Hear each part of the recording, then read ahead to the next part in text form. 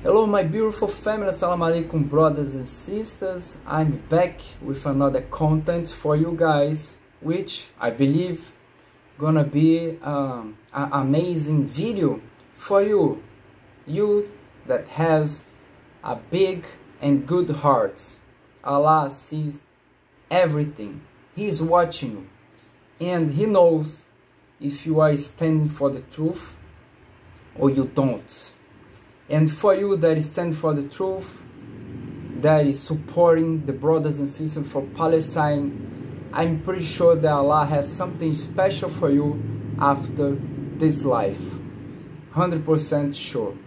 And this is what I believe. You don't have to be Muslim, you know, to get this reward.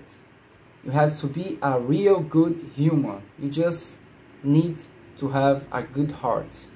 That's what Allah gonna see in the end, okay? That's what I believe.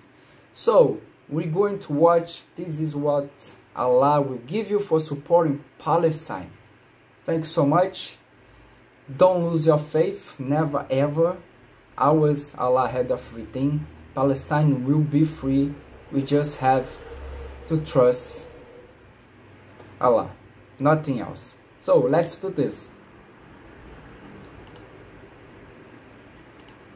And so we've talked about boycotts, we've talked about protests, we've talked about um, you know, speaking out against evil. If you can't change something with your hand, the very famous hadith, whoever amongst you sees an evil, let them change it with their hand. If they can't do so, then let them, let them change it with their tongue. And if they can't do so, then hate it in their heart. And that is the least of iman. We've talked about the importance of dua as the weapon of the believer, supplicating for our brothers and sisters. But there's something that a lot of us have been doing, and there's a very specific question that I wanted to ask about this deed.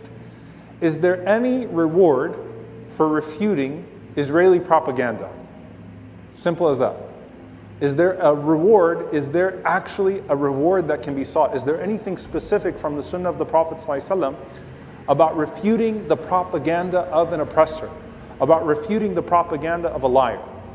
And there's this very specific hadith that I wanted to look at in regards to this. Why? Because obviously, you know, we live in a world of echo chambers and algorithms and social media companies that are fueled by all sorts of interests and uh, money to make sure that true narratives don't get out. And if the true narrative wasn't important, then obviously there wouldn't be so much money that was out there to shut down what is the truth. And what we're seeing is this constant uh, battle, this constant strife in the war of public narrative and public opinion between people like you and everyone that's got the power of a cell phone and the power of a laptop that are showing things that legacy media intentionally does not want to be shown, and then the power of those social media platforms trying to shut those down without being too obvious. So, you know, you're doing with your cell phone something that's very interesting because this is unprecedented in history. Is there anything from our deen about the very particular act of that, of trying to shed light on the truth and trying to dispel the propaganda of an oppressor in the public space. And so I come back to this hadith that I'll reflect on a bit today because it has a very specific line here and then a very specific reward. And I actually gave a khutbah, subhanAllah, in November of 2021 called Do Not Aid the Oppressor uh, about this very hadith, but I talked about one other line of this hadith. The hadith is the hadith from Ka'b ibn Ujra, radiallahu ta'ala anhu. It's an authentic hadith. Ka'b ibn Ujra says that kunna tis'a, we were nine people with the Prophet sallallahu alaihi wasallam one day. Five of us were Arabs, four of us were non-Arabs. Now what's the significance of that line? The significance of that line is twofold. Number one, it indicates the universality of the message that the Prophet ﷺ was going to share, meaning the Prophet ﷺ is not going to share a message that is specific to Qaba'il al-Arab, to the tribes of the Arabs. That's number one. So it suggests the universality of the message. Number two, it suggests the timing within the seerah. When would the Prophet ﷺ have a broader audience? What do you think? When would the Prophet ﷺ have a broader audience? At what time period of the seerah? I know you all know, so it's okay. The Madani period, and particularly the last part of it, right? If he's speaking to five Arabs, four non Arabs, that means that the religion has spread now. You have people that have now come and settled into Medina. And the Prophet ﷺ is towards the end of his own prophetic mission on this earth, And he's telling them about things that are to come.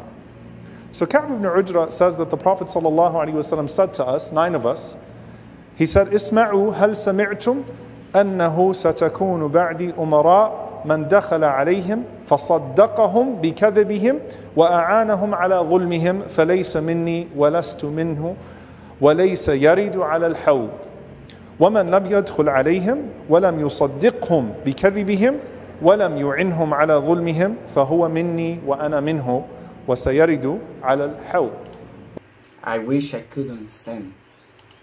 The Prophet ﷺ said, Listen to me and listen closely. Verily, after me there will come leaders, and whoever enters upon these leaders, and this is a very important thing because it's mistranslated on many of the hadith websites. All right? If you read many of the hadith websites, it'll say, and believes their lies. But tasdiq, yusaddiq, yusaddiquhum, means to affirm their lies. So whoever enters upon an oppressor, a leader, and then affirms their lies, not just believes their lies, affirms their lies, and aids them in their oppression, then they are not from me, and I am not from them, and they will have no place from drinking from the hawd, from the fountain of the Messenger sallallahu on the Day of Judgment. This is exactly what's happening with the Western countries. They lie, lie, they affirm, they confirm the lies, and for them, this is like natural. It's like they really believe they are saying the truth because they lie all the time. This is really, really ridiculous and evil. Very specific. And he said, Sallallahu Alaihi Wasallam, and whoever does not enter upon them and does not affirm their lies and does not aid them in their oppression, then that person is from me and I am from them, and they will drink from my hawd on the day of judgment. They will drink from my fountain on the day of judgment. May Allah make us amongst those who drink from the hand of our beloved Messenger, sallallahu alaihi wasallam. It's an interesting hadith, and I want to break it down because there's obviously the line here. It is. That is, that is very pertinent to the idea of dispelling propaganda as a specific deed here. Number one, the hadith gets complicated in regards to whether you're talking about a Muslim leader or an open enemy, right? An opposition. Someone who's Muslim or someone who's from the opposition, right? Because if it's a Muslim leader and it's within the ummah, if it's a khalifa or someone who has bay'ah, who has uh, you know, allegiance from the Muslims, then there are going to be some differences in the ahkam, in the rulings that the scholars of hadith will decipher here. So, for one, obviously, of the three things the Prophet ﷺ mentioned, whoever enters upon them, whoever affirms their lies, or whoever aids them in their oppression, the second two of those three are haram no matter what. The second two of those three are haram no matter what. Meaning what? And this is, of course, what we see that happens today. You have a Muslim leader. Exactly what's happening now with most of the Islamic countries. And you know, of course, what I'm talking about because we have been talking about this for weeks already. Let's keep pay attention because this is a nice content. Who is obviously committing all sorts of atrocities, that is supporting an oppression, enabling mm. oppression. God. And you have Exactly. those that will unfortunately appear with them and actually repeat their propaganda, repeat their lies, and it comes with a very particular type of legitimacy when it has the cloak of a sheikh, the cloak of a alim, right, to affirm their lies, right? And by doing so, giving a religious authority, a religious veneer to the oppression that they are committing, all right? So this is not permissible regardless. However, Traitors and cowards. However, is it permissible to enter upon a leader, to, to enter upon a person who's a khalifa or a ruler to be in the presence. Absolutely. To be with them is not absolutely prohibited, especially if there's munasaha, if there's some sort of advising towards them or something of that sort. It's not prohibited in and of itself. The question becomes how much of your behavior towards them is iqrar or inkar? Is in, you know, insinuating support for what they're doing or insinuating at least the distancing from their evil, even if it's by ishara, if it's by your, your deeds, your actions, right? So singing a nasheed to, a, to an oppressor is probably, you know, not something that would fall into this, right? Or, or praising them while overlooking their deeds doesn't fall into this. But, you know, you, you give a dua or you're present in the same gathering or there is something that takes place, you're in the same space and you're giving them advice, that's not enough to disqualify someone. And that's important in this day and age where it's very easy to just take a picture out of context and then completely delegitimize, you know, a, a person who's the head of like a, a, group of scholars in some Muslim country and to say this person has no legitimacy anymore. That's not fair either, right? So there are extremes in this and there, there's important nuance here that is to be derived when it comes to the first one. This obviously does not apply when you're talking about someone who's an open enemy uh, to the Muslims. This is not talking about Benjamin Netanyahu or someone who shamelessly would take what they call faith washing trip to Israel and pose with the president or pose with the prime minister and say, you know, I was just building a relationship. I was giving Netanyahu nasiha. Netanyahu doesn't need your nasiha, trust me. or I was giving him advice, talking about how we can build uh, peace. Doesn't count, and that is absolutely disqualifying and disgraceful. But what about the second two things? أعانهم على ظلمهم to aid them in their oppression. So I'm going to leave the, the middle one for last because it's the one that's most pertinent to this discussion. أعانهم على ظلمهم goes back to the boycott discussion that we were having. And Imam al-Marwazi rahimahullah, he says, when Imam Ahmad rahimahullah was in prison, the prison guard came to him.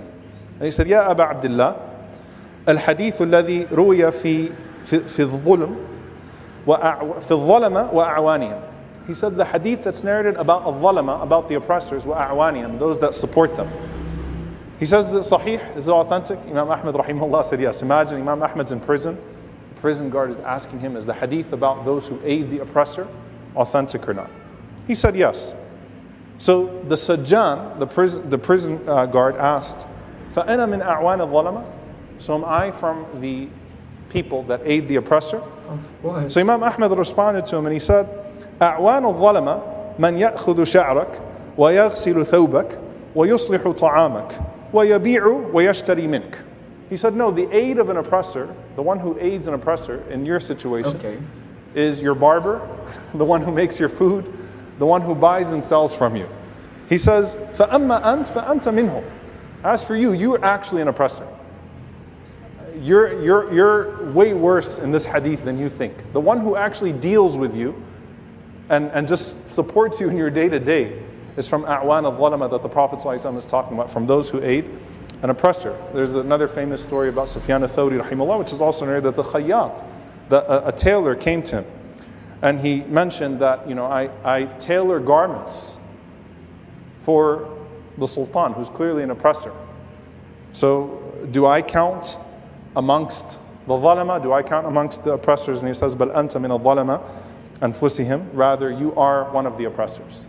And this shows you this idea again of not participating in any way. So it goes back to the discussion we were having about boycotts, about the religiosity of this affair, of not purchasing, of not partaking, when we can prevent ourselves from anything that could be used towards the oppression of our brothers and sisters. Let's use an example here like the President Erdogan, the Turkish president if he is break down the oil supply that goes to Israel, he is helping the brothers and sisters. This is gonna be bad for the Israeli government. But for some reason, he don't do that. So that means he is supporting Israel. At least for me. I don't know what you guys think. He is aiding Israel against Palestine. I think this is a nice example that we we can put here on the table, right? Don't you guys agree with me? Or strengthen the case or the position Should boycott. of those that oppress our brothers and sisters. Now, the middle one is the interesting one, which is to affirm their lies or to deny their lies in public. The Prophet ﷺ mentioned to us the virtue of kalimatu haqq in the sultan and jair, to speak a word of truth in the face of an oppressor. The connection between speaking a word of truth in the face of the oppressor and this is that here you are not talking to the oppressor directly, you're talking outside of the oppressor, you're facing outward, and you are dispelling their lies. So, speaking a truth to their face or dispelling a falsehood to their audience. To the That's what we are trying to do here, family. Every single day. Every single day. And I will keep doing that. Not just with the Palestinian people, for any situation that I see that is wrong Okay? Until my last breath. This is the truth. You are what you are. If you're good, you're always gonna stand with the truth. If you're evil, you're gonna stand with the lies. And you're gonna have to pay for that. those that are on the other side. This is a powerful connection to what the Messenger of Allah وسلم, is predicting about the times that come because we know that as time goes on, the standards of truth and the standards of truth bearers both go down. SubhanAllah, as the ulama mentioned. In fasiqun binaba'in fatabayyanu. Both the level of fusuq, you know, Allah says in the Quran, if a wicked person comes to you with news, then verify it. Both the wickedness, the standard of wickedness, and the standard of verification wither away over time. Right? So, what would have made you a fasiq back then who's not trustworthy, right? You'd be considered one of the awliya today, one of the greatest friends of Allah today. And the levels of verification have also gone down. So it takes one person. How many times, by the way? And I'm just being real here because I see it in our community too. Sheikh, did you hear what happened? What happened? And then, like, some ridiculous, outlandish news. I'm not going to say I heard it tonight before Isha, but you get the point. All right? Not tonight before Isha, by the way, just so no one feels targeted here, right? Where'd you hear from? I saw it on WhatsApp. Someone passed it on. And why do you think it's real? Well, because the person that forwarded it, right, is a good Muslim, is someone who seems to be trustworthy. And that person, of course, forwarded it from someone else, who forwarded it from someone else, and then forwarded it from someone else. And the next thing you know, you had, you know, like someone speaking Arabic on American Idol, uh, you know, saying free Palestine and, and just all sorts of things. It's like, where did this even come from? But the standards of, of both the truth bearer as well as what we consider to be verified and true have gone down so much.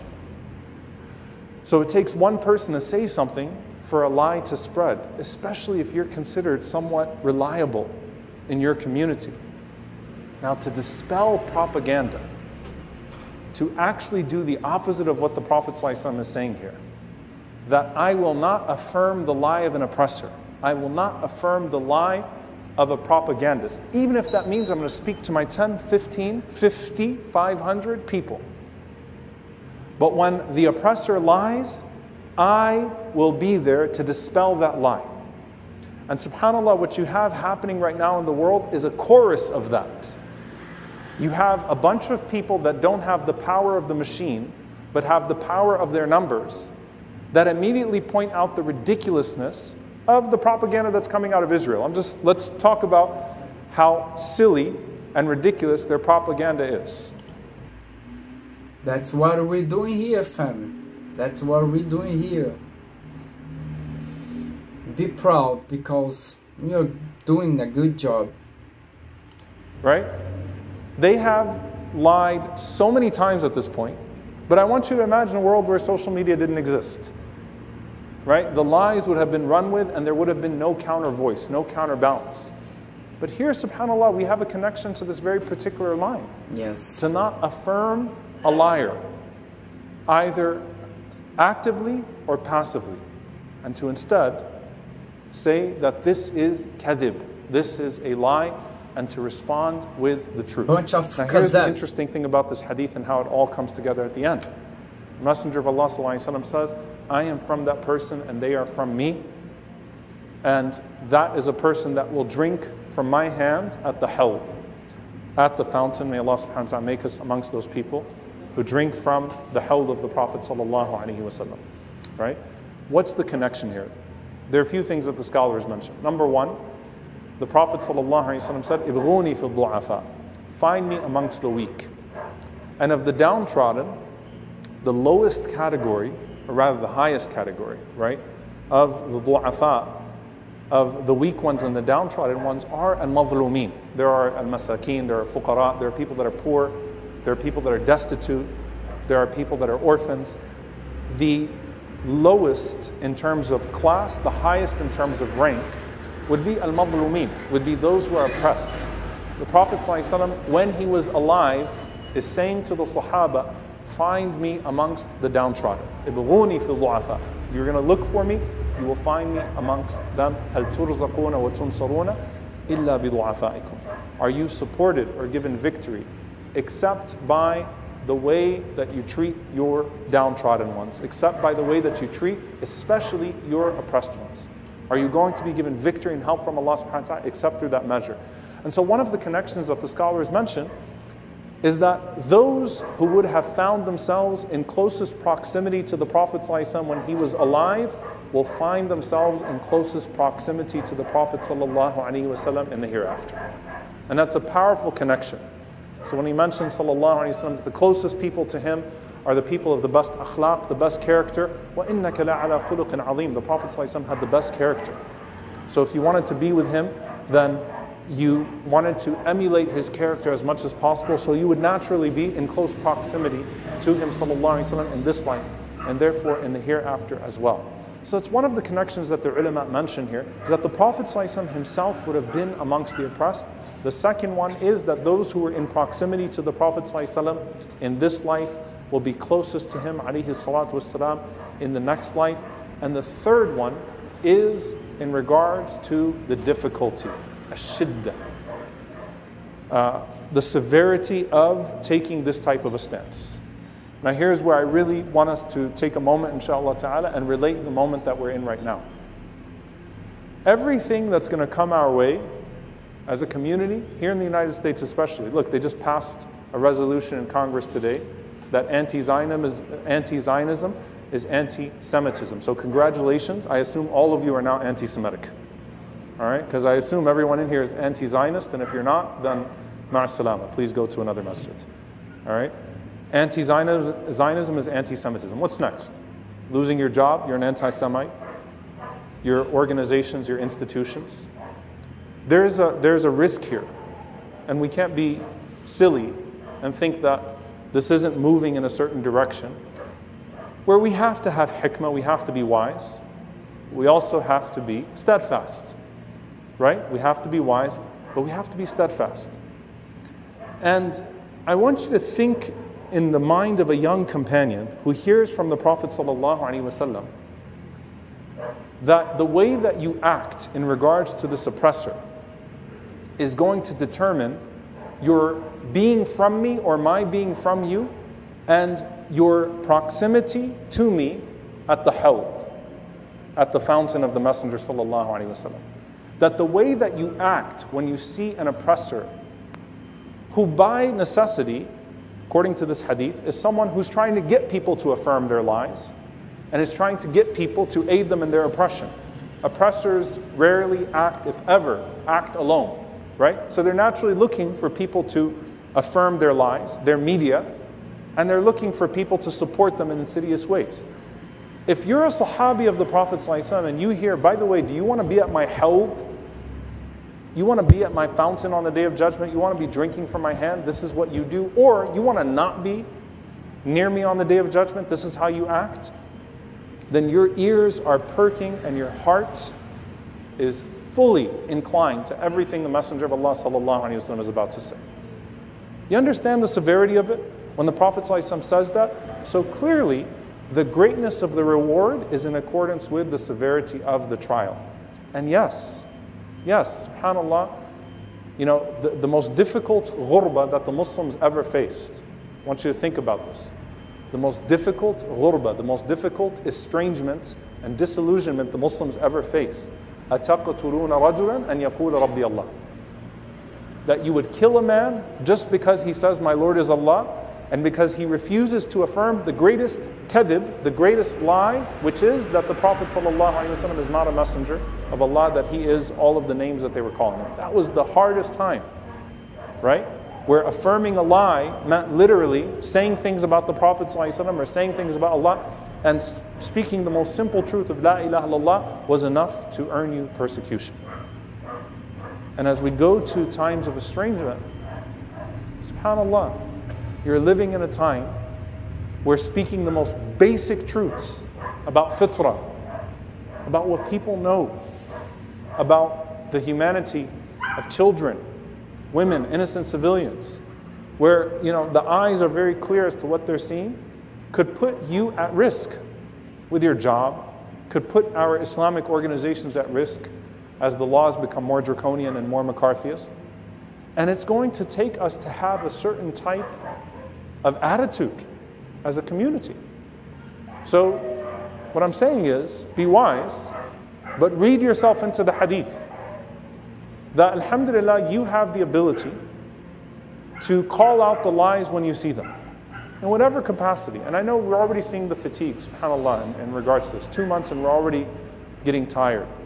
Renew it by reading these ahadith sometimes and saying to yourself, I want to be that person who does not affirm the lies that are coming out from this propaganda machine, and I will speak these truths, and I will seek, bi'idhnillahi ta'ala, with that Allah Azza pleasure. I will seek that position with the Prophet because if the Messenger of Allah was amongst us, in his physical proximity in this dunya, we know that the Prophet would be with our brothers and sisters who are being oppressed right now. What amazing content. Wow. What amazing content. Family, this is it. Uh, you wanna make sure when someone's lying, when he starts to create situations and story that want you to believe that the lie is true. It, it is exactly like that. But when you tell the truth, you don't have to worry about create situations or story for the people believe. The truth is true itself and nothing gonna change that. So let's keep standing for the truth, for the brothers and sisters for Palestine. Don't lose your faith.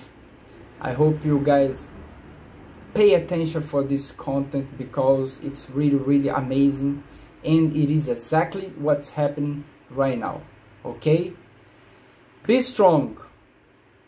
Always trust Allah and we're gonna be fine. And if, if you are the one has a good heart and stand for the truth, Allah gonna have a great reward for you. That's for sure. Allah bless you all and I see you guys next time. Palestine free. Thank you.